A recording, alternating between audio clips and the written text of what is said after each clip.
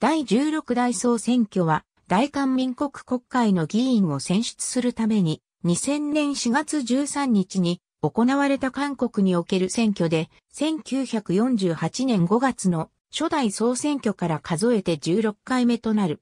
韓国では選挙回数を大回ではなく大々と数える。また名称も総選挙ではなく総選と表記するのが一般的である。国会議員の任期満了に伴って実施された選挙である。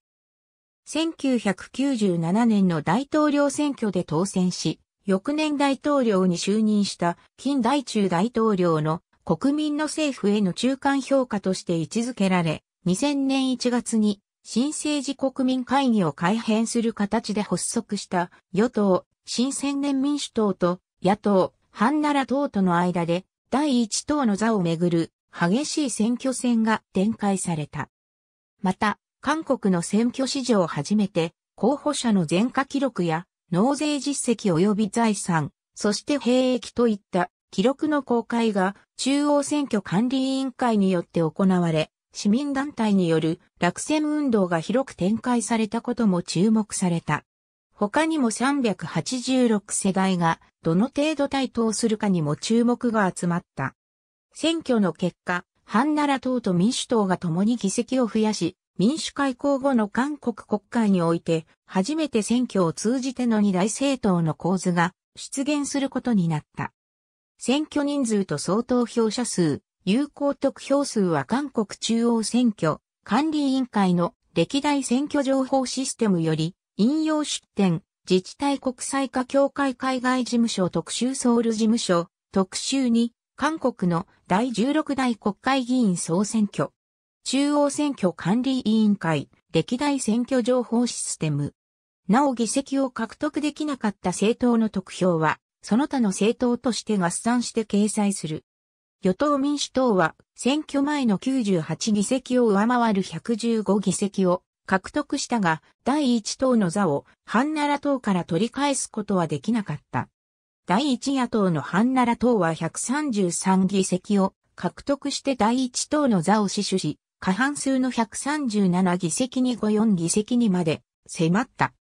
選挙前に50議席を有していた自由民主連合は議席を大幅に減らして院内交渉団体の資格を確保するために必要な20議席をも下回る17議席と惨敗した。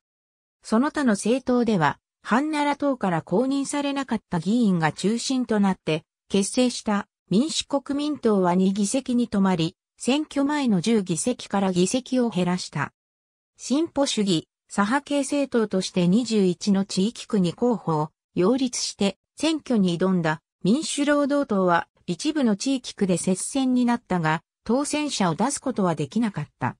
今回の選挙でも、峰南地方と湖南地方の地域主義に由来する政治構図がはっきりと出る結果となった。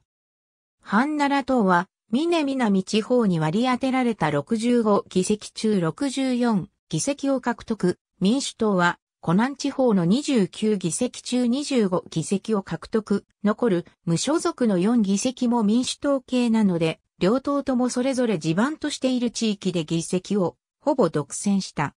一方、自民連の地盤であった中世道と太田では、自民連が議席を減らし、ハンナラ党と民主党で議席を分け合う結果となった。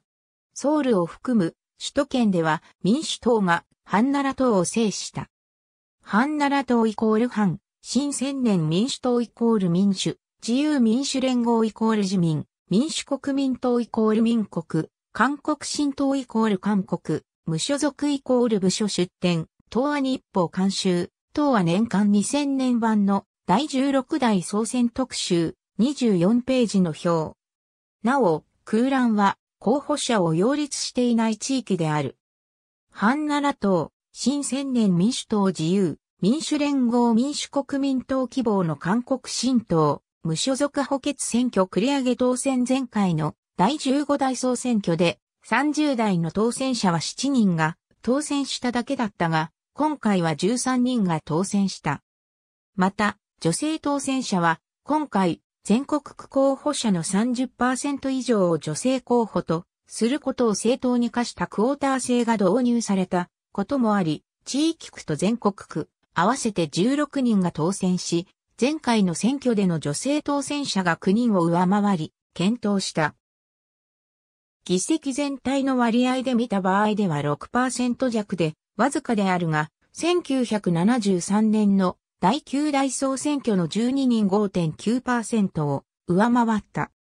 なお、地域区での女性当選者のうち、ハンナラ党のボククネと民主党の秋宮井は再選であるが、地方区における女性議員が再選を果たしたのは、88年4月の総選挙以来12年ぶりのことである。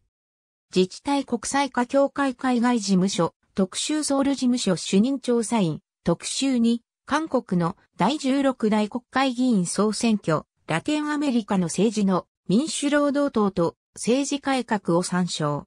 自治体国際化協会海外事務所、特集ソウル事務所主任調査員、特集に、韓国の第16代国会議員総選挙等は日報、祝殺版。2000年4月号、16代総選当選者候補、得票状況と16代総選全国区議員名簿を参考にして作成した。春木組、現代韓国と女性新刊社177ページ。ありがとうございます。